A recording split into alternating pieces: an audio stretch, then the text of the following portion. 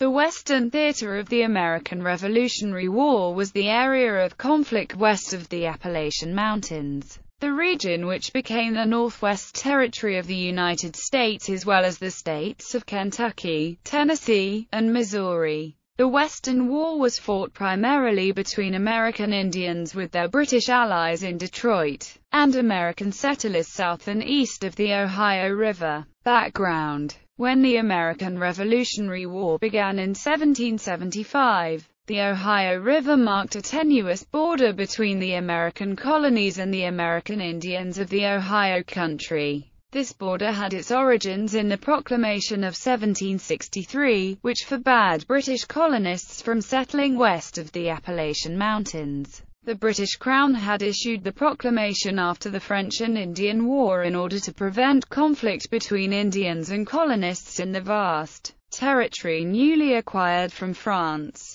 Settlers and land speculators in Britain and America objected to this restriction, however, and so British officials negotiated two treaties with American Indians in 1768, the Treaty of Fort Stanwix and the Treaty of Hard Labor, which opened up land for settlement south of the Ohio River. Thereafter, tensions between British officials and colonists over Western land policy diminished. Most of the Indians who actually lived and hunted in the Ohio Valley, Shawnees, Mingos, Delawares, and Wyandots, had not been consulted in the 1768 treaties. Angry with the Iroquois for selling their lands to the British, Shawnees began to organize a confederacy of Western Indians with the intention of preventing the loss of their lands. British and Iroquois officials worked to diplomatically isolate the Shawnees from other Indian nations, however, and so when Dunmore's War broke out in 1774, Shawnees faced the Virginia militia with few allies.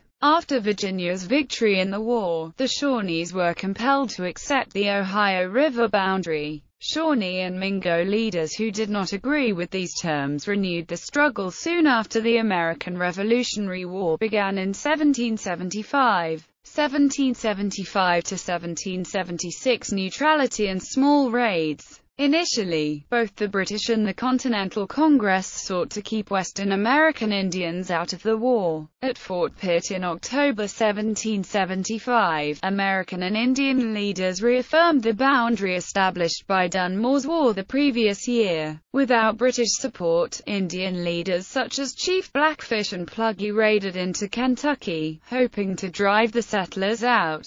Governor Patrick Henry of Virginia wanted to retaliate by attacking Pluggy's town in the Ohio country, but he cancelled the expedition for fear that the militia would be unable to distinguish between neutral and hostile Indians, and thus make enemies of the neutral Delawares and Shawnees. Nevertheless, Shawnees and Delawares became increasingly divided over whether or not to take part in the war. While leaders such as White Eyes and Cornstalk urged neutrality, Buckongahelas and Blue Jacket decided to fight against the Americans. In Kentucky, isolated settlers and hunters became the frequent target of attacks, compelling many to return to the east. By late spring of 1776, fewer than 200 colonists remained in Kentucky, primarily at the fortified settlements of Boonesborough, Harrodsburg, and Logan's Station. In December 1776, Pluggy was killed in an attack on McClellan Station, which was located on the site of present Georgetown, Kentucky. 1777 escalation In 1777, the British launched a major offensive from Canada, in order to provide a strategic diversion for operations in the Northeast. Officials in Detroit began recruiting and arming Indian war parties to raid American settlements. Unknown numbers of American settlers in present Kentucky, West Virginia, and Pennsylvania were killed in these raids. The intensity of the conflict increased after enraged American militiamen murdered Cornstalk, the leading advocate of Shawnee neutrality, in November 1777. Despite the violence, many Ohio Indians still hoped to stay out of the war. This was a difficult task because they were located directly between the British in Detroit and the Americans along the Ohio River. 1778 to 1779 American advances. In the early years of the war, the Virginians had attempted to defend their western border with militiamen garrisoning three forts along the Ohio River, Fort Pitt, Fort Henry,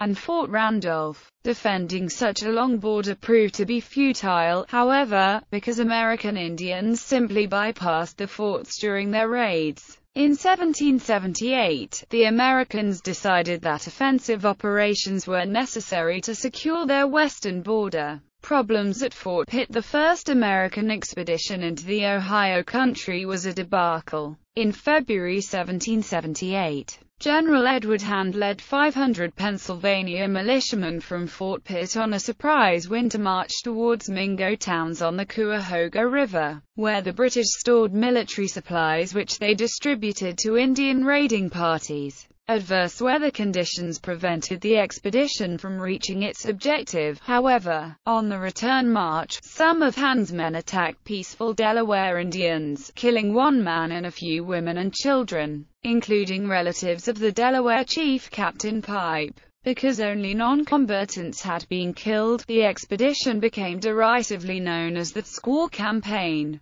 Besides unruly militia, loyalist sentiment around Pittsburgh also contributed to Hand's problems. In March 1778, three men with close ties to the British and American Indians left Pittsburgh, defecting to the British and Indian side. They were Simon Girty, an interpreter who had guided the Squaw campaign, Matthew Elliott, a local trader, and Alexander McKee, an agent for the British Indian Department. All three would prove to be valuable British operatives in the war. Amid much criticism, and facing a congressional investigation for allowing the men to defect, Hand resigned in May 1778 treaty making and fort building following the escalation of the war in 1777. Americans on the western frontier appealed to the Continental Congress for protection. After an investigation, a congressional commission recommended in early 1778 that two regiments of the Continental Army be stationed in the west. Furthermore, because a defensive line of forts had little effect on Indian raids into the American settlements, the commissioners called for a fort to be built on the Indian side of the Ohio River, the first in a line of forts which would enable the Americans, it was hoped, to mount an expedition against Detroit. Holliday's Cove Fort was a Revolutionary War fortification constructed in 1774 by soldiers from F.D. Pitt. It was located in what is now downtown Weirton, West Virginia, along Harmons Creek, about three miles from its mouth on the Ohio River. It was commanded by Colonel Andrew Van Swearingen and then later by his son-in-law, Captain Samuel Brady, the famous leader of Brady's Rangers. In 1779, over 28 militia were garrisoned at Holliday's Cove. Two years earlier, Colonel Van Swearingen led a dozen soldiers by longboat down the Ohio to help rescue the inhabitants of F.D. Henry and Wheeling in a siege by the British and Indian tribes in 1777. That mission was memorialized in a WPA-era mural painted on the wall of the Cove Post Office by Charles S. Chapman. The mural features Col. John Bilderback, who later gained infamy as the leader of the massacre of the Moravian Indians in Gnadenhutten in 1782. In order to build a fort in the Ohio country, the Americans sought the approval of the Delaware Indians. In September 1778, Americans negotiated the Treaty of Fort Pitt with the Delawares which resulted in the building of Fort Laurens along the Tuscarawas River. American plans soon went awry, however. White Eyes, the Delaware leader who had negotiated the treaty, was apparently murdered in 1778 by American militiamen. His rival, Captain Pipe, eventually abandoned the American alliance and moved west to the Sandusky River, where he began receiving support from the British in Detroit. Furthermore, because of intense warfare in eastern Pennsylvania and upstate New York, Congress was unable to provide the manpower for operations against Detroit. Fort Laurens was abandoned in 1779. Clark's Illinois campaign in late 1778, George Rogers Clark, a young Virginia militia officer, launched a campaign to seize the sparsely garrisoned Illinois country from the British. With a company of volunteers, Clark captured Kaskaskia, the chief post in the Illinois country, on July 4, 1778 and later secured the submission of Vincennes. Vincennes was recaptured by General Henry Hamilton, the British commander at Detroit. In February 1779, Clark marched to Vincennes in a surprise winter march and captured Hamilton himself. To American frontiersmen, Hamilton was known as the hair-buyer general, because, they believed, he encouraged Indians to kill and scalp American civilians. For this reason, Governor Thomas Jefferson brought Hamilton to Williamsburg, Virginia, to be tried as a war criminal. After British officials threatened to retaliate against American prisoners of war, Jefferson relented, and Hamilton was exchanged for an American prisoner in 1781. 1780 Major British and Indian Offensive. Over the next several years of the war, both sides launched raids against each other, usually targeting settlements. In 1780, hundreds of Kentucky settlers were killed or captured in a British Indian expedition into Kentucky. George Rogers Clark responded by leading an expedition in August 1780 which destroyed two Shawnee towns along the Mad River, but doing little damage to the Indian war effort.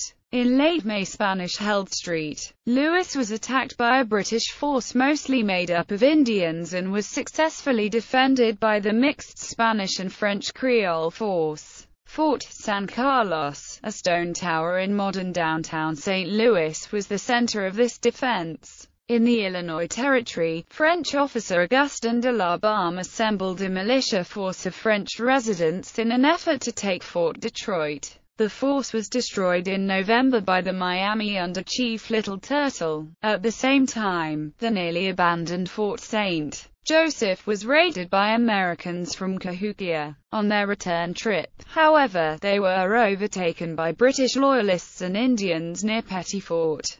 1781, Spanish Governor Francisco Cruzate, in St. Louis, sent a force of about 140 Spanish soldiers and American Indians under Captain Eugenio Poure to capture Fort St. Joseph. It was captured and plundered on February 12, 1781. In late 1780, Clark traveled east to consult with Thomas Jefferson, the governor of Virginia, about an expedition in 1781. Jefferson devised a plan which called for Clark to lead 2,000 men against Detroit. Recruiting enough men was a problem, however. In time of war, most militiamen preferred to stay close to their homes rather than go on extended campaigns. Furthermore, Colonel Daniel Brodhead refused to detach the men because he was staging his own expedition against the Delawares, who had recently entered the war against the Americans. Brodhead marched into the Ohio country and destroyed the Delaware Indian capital of Coshocton in April 1781. But this only made the Delawares more determined enemies and deprived Clark of badly needed men and supplies for the Detroit campaign. Most of the Delawares fled to the militant towns on the Sandusky River.